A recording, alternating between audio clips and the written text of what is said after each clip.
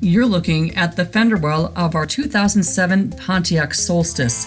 It looks like it's in pretty good shape, but around the edges it's a bit rough and it's not staying attached to the vehicle like it should. One of the things that we like to do to keep our cars looking new is to replace parts like this when we can. The fender well is something that you can get new from a GM part supplier, pretty easy to find on the internet. So stay tuned, we're going to show you how easy it is to do this. It took us a couple of hours.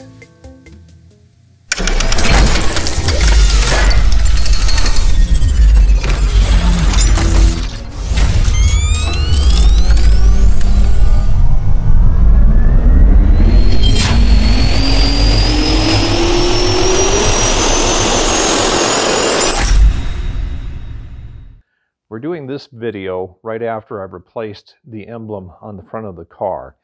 So this portion is already disassembled. There are four screw bolts. I've got them down here on the ground that you have to take out. There's one here, one here, one here, and one down here. So you're going to take those out. They're seven millimeter. Remove them. And now we're going to go around and I'll show you step by step how I take out each piece and how we ultimately install our new fender liner. Next one we'll work on taking out is this one. And you notice how worn out the fender liner is? It's just pieces here. So the bolt isn't even holding anything. I've just got to get the little thing out. And I'm probably going to take my socket off and see if I can get a hold of it in all this mess and start it because that fender liner is so screwed up. And I'm going to work that out. Because this fender liner is so beat up here, I decided to just push on it, push it down, and I'm just going to unscrew my piece that way instead. But it isn't all that easy, even though the liner is beat up. Putting upwards pressure with my thumb on my left hand while I'm obviously screwing this out with my right hand. The ratchet actually would make this more difficult. And that's out. We're going to remove this one. It's not holding much. We're going to start with the ratchet because it is right now as tight as it could be. We'll start with the ratchet and I'll switch taking the ratchet off because it's much easier to do just by hand. To remove the splash guard on the car here, now if you don't have the splash guard, you're still going to have to remove the bolts, but I've got the splash guard here. So we're going to take this one out, this one out, and there's also one underneath here holding the bottom of the splash guard. You'll never be able to see me do that. These are still seven millimeters. And we'll just start them in and take them out by hand. Okay, underneath you have one more bolt. This is a 10 millimeter. I'm gonna have to do it by hand with a little wrench and take it off so I can take the splash guard off.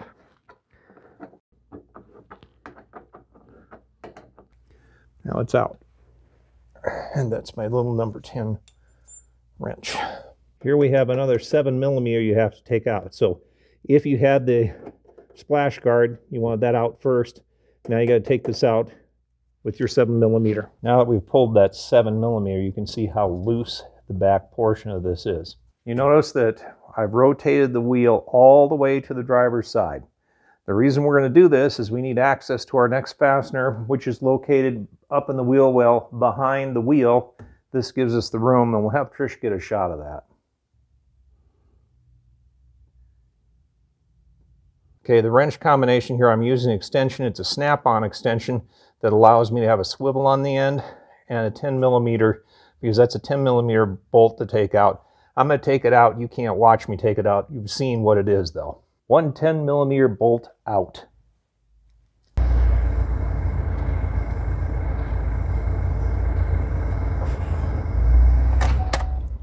Here's the other bolt now that we've rotated the wheels to the passenger side. It's going to be 10 millimeters also. I'm going to remove that. Again, you won't be able to watch it, but we'll take that one out. Front 10 millimeter bolt is now removed. This Christmas tree fastener is holding the wheel well in, so we're going to have to get that out. Now these are available, and we'll give you the part number. There should be a Dorman part, that you can pick a new one up, because these are really supposed to be a one-time use fastener. Nope, I found a way to get it out. That's a one-way fastener. You see how used it is? So we're going to get a new Dorman part. Did you see that? Yeah. Our inner fender liner is still connected by those two Christmas tree fasteners, which are holding your wiring harnesses. That's what's going on there. That's the only two things I believe we've got left that are actually physically holding it on. So we got to get those out. Grab onto your wiring harness, push hard and pull at the same time. Now I've got one out. Now you notice the other one is still in here. It has a wire tie that was attaching it, so we'll pop this out when we take this out of the car. Now down below here you have a brake cooling duct. That is actually, that's holding this in a little bit right now. So I've got to push this off of the brake cooling duct. And that's going to take a little effort. You have to push and pull and work your way around until you can get this whole thing out. But that's what's, what's still holding it. Oops. Nope, we got another Christmas tree fastener I didn't see. There's one more Christmas tree fastener down here, not far from your brake duct. That's going to be popped out. And we're going to do that the same way we do the other one, hopefully, and push real hard on this fender liner and get it off of there. Push this one out. I got it. Good job. That also got it off the duct. Made the duct loose. Push that back in place. Now we got to work this old fender liner out of here. And I will have to put the duct on again. Just popped it a little bit. Okay. Now putting the new one in is the one I'm going to be concerned about. This one I'm just concerned about getting out.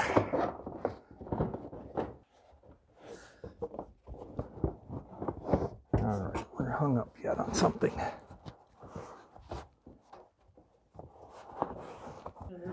Yep, I'm gonna have to have more room back there, so I'm gonna turn the wheel straight.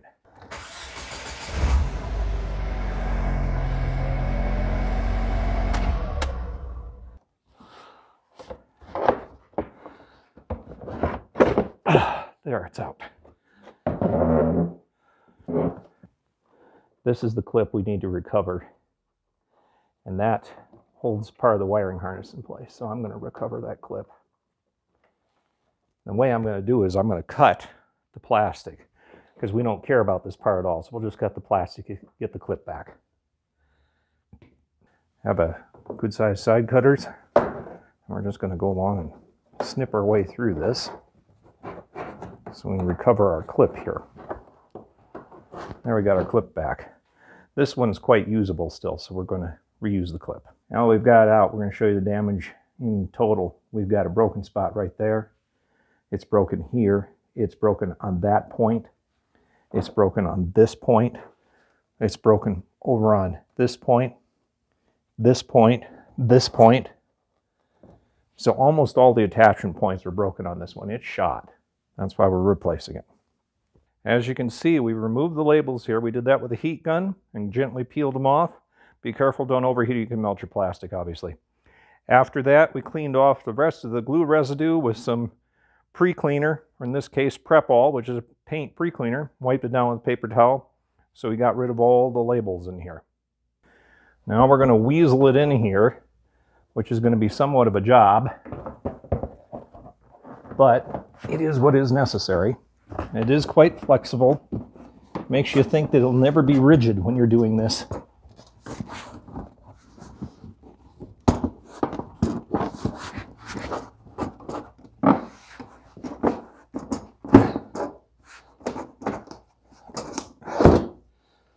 A large part of it in.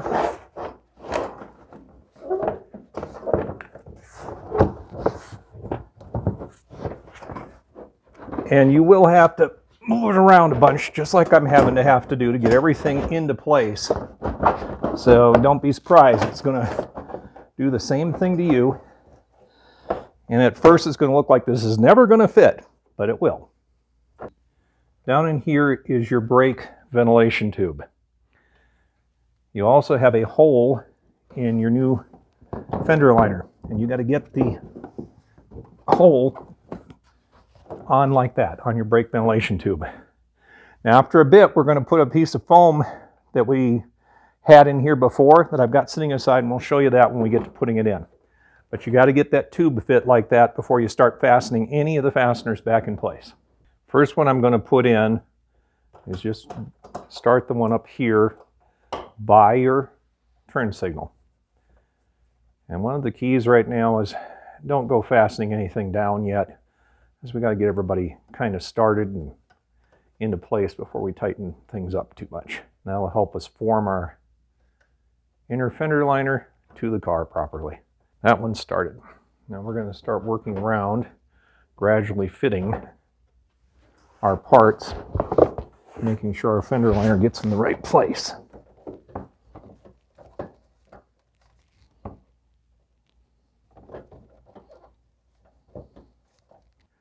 All right, there we have two holes in our front bumper. Each one of those has to have a clip. One of the clips is missing. The other clip is right here. I'll show it to you. This is the clip. So you have to slide it back on there. This portion goes to the inside, not the outside, the inside. And I'm going to show you what we're going to use for the other clip. What we have here is a 170 piece U-clip assortment. Came from Harbor Freight. This actually works pretty good. Now we're going to choose, whoops, don't want that one out there. We're going to choose one of these clips and we're going to verify it works with our screw. Bolt by checking it and that one works good. So this will be our replacement clip. I don't remember what I paid for this, but this is like just a few bucks or a couple bucks. You might as well buy that than go buy those at the auto parts store. Now I'm going to install the two clips in here and I'm going to put the screw bolts all the way along here and just start them for now. And I'll do that off camera and we'll come back with the next operation. Notice that when you get this side assembled, we're looking at the front of the car, that the lip of the plastic goes right behind your turn signal. So you're going to have it up in behind your turn signal. And you go down along your fender here, or actually your front bumper area, and you're inside. Now here I've got a little gap. I'm going to try to push loosen this one and push this in. But that's how it goes together. Down here, this piece that's over your fender well, this is called, I believe, a brace. And it should assemble like I put it together. Now everything's dirty, but that is how it goes together. I haven't cleaned anything off. So this is the front section. Now we're going to show you how to put the rest of it together.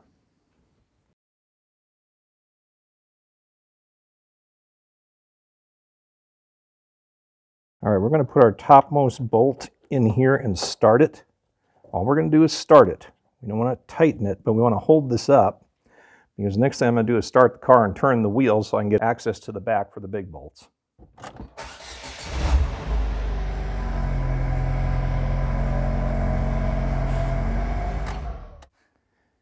Here's one of our 10 millimeter bolts. This bolts the fender, inner fender liner to the frame. Now I'm going to put that in the front hole. There's two of them as you remember when we showed you earlier.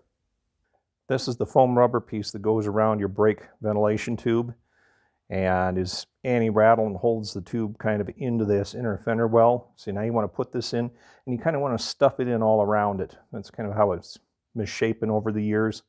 So I'm going to stuff it in. Again, you can't watch it, but that's what you got to do. All right, there you see it's shoved back in there. So it's going to hold the tube in place and kind of seal things off.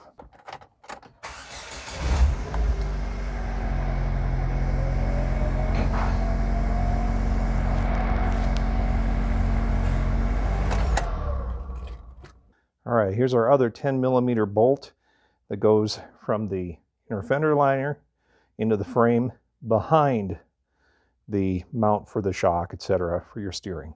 So we're going to put that in. Again, you can't watch me put in, but that's going to be put in completely tightened.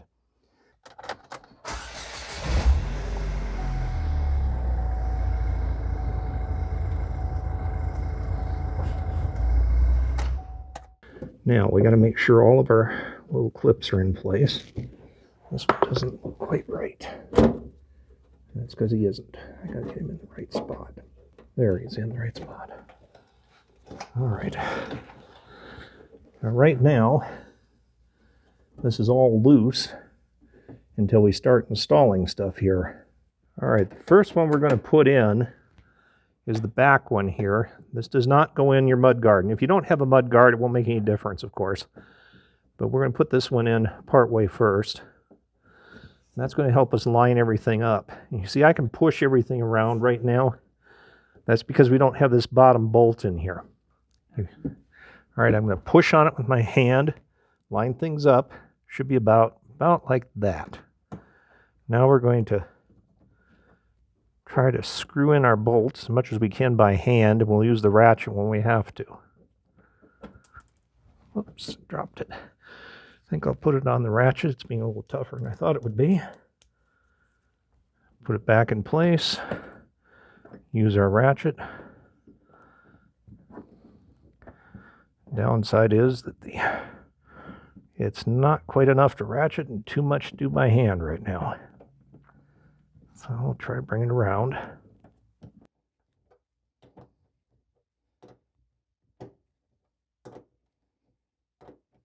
And this whole time I'm keeping pressure on with my left hand, trying to hold this assembly in roughly the right position.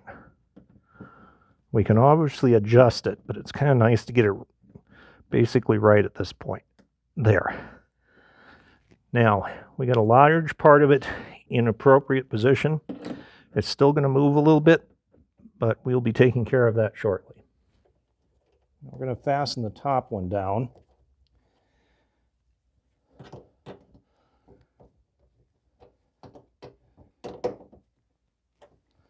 Now you'll notice your inner fender liner does not come clear to the outside edge. It should not come quite to the outside edge. Should be about like this so that there's a little reveal in here. Now you see it's getting very sturdy as sturdy as they ever get. We'll put our splash guard on, and the thing is to line up everything. And then try to get them started before we finish fastening anything. And it's a very blind job now to do this, no matter how you look at it. The hole is, is there, but you can't see what you're going into easily. And I might have to get an awl to do this, but we'll see if I get it. So far, I'm not finding my hole. Let's try the bottom one and see if I get that one first. All right, off camera, I did have to loosen both bolts just a teeny bit. I pushed up here and retightened. I got a better alignment on these other two holes than we had. This time, hopefully, I will find my holes easier. If I don't, I will go break out an awl to line up one of them to the point that I can actually do it. I think I've got this one started. Nope, thought I did.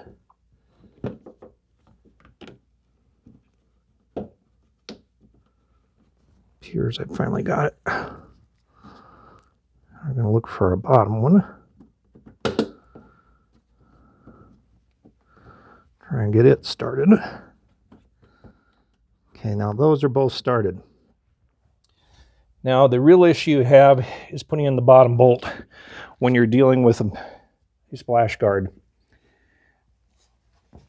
Because this job to take this bolt and put it back in here is completely blind.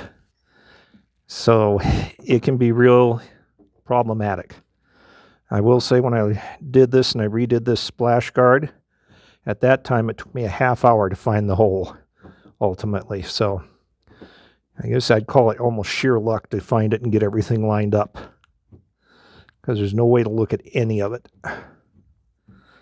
And you end up having to look up inside and keep working until you can figure out where your bolt is. And I'm not there by any means. So there's no way I can show it to you. I'm just telling you it's hard to do. I'll, finish that off camera. All right, I've got my 10 millimeter wrench. I'm going to use that to fasten the bottom. The bottom's now started. I'm going to have to use my 7 millimeter and go along and finish fastening these down all the way. And that's all you got to do, and it's going to be completed. So we're going to do that, and we'll show you it all done. All right, we've got this all fastened up now, but there are three more things you need to do yet to fasten this. Come up top and we'll show you two of them. One is your Christmas tree fastener here. You just shove this back in. I've already done it. You also have another fastener for this particular line here of wiring. And it just uses, and I'm going to have to cut this one off, it uses a zip tie And then the fastener is a Christmas tree that pushes in the hole. So you're going to need a new zip tie. I'm going to get that fastener remind you what it looks like. This is the fastener for this point right here. There it is. And you need to zip tie it back in place and then shove it into the inner fender well. So that's that particular fastener. I'm going to do that obviously off camera, but that's what you do. Now I'm going to show you the third fastener point you have to remember. All right, you may remember I showed you this Christmas tree fastener before. This one's shot. I got to go to the auto parts store and pick one up. We'll give you the part number, probably as a little subtitle, so that you know what part number to use. And you remember that goes in the front of your inner fender well. And we'll show you again where it goes. We're going to show you from the front side of the car here. Okay, I'm going to light up the hole. You see the hole down here? There is, there's your hole. That's where the Christmas tree fastener is going to come through from the other side, from the inner fender well side. We've installed that final fastener. You can see it poking through at the bottom of the screen. We're very pleased with the results. It looks nice and new, and this is something that you can do with a lot of tools that you already have on hand. We hope you found this video useful. Check out our 2007 Pontiac Solstice playlist. It has other useful tips and how-tos when it comes to repairing these vehicles and keeping them on the road. Also, check out our 2009 Pontiac Solstice video playlist Thanks for watching. Because these are really supposed to be a one-time use fastener. So I can't get in there anyway. Nope, I found a way to get it out. Did you see that? I did. We got to show them that. Um, I already did. Oh, you did? Yeah, I was actually filming it when you did that. Well, that's perfect. All right, we're going to put our topmost bolt in here and start it. All we're going to do is start it. We don't want to tighten it, but we want to hold this up because next thing I'm going to do is start the car and turn the wheels so I can get access to the access to the back for the big bolts. There's a procedure to this, you know. All right, here's one of our two 10 millimeter bolts. It goes back in the frame fashions. Sorry. Here's one of our 10 meter, I'll do it third time. Here's one of our 10, I have to start a fourth time.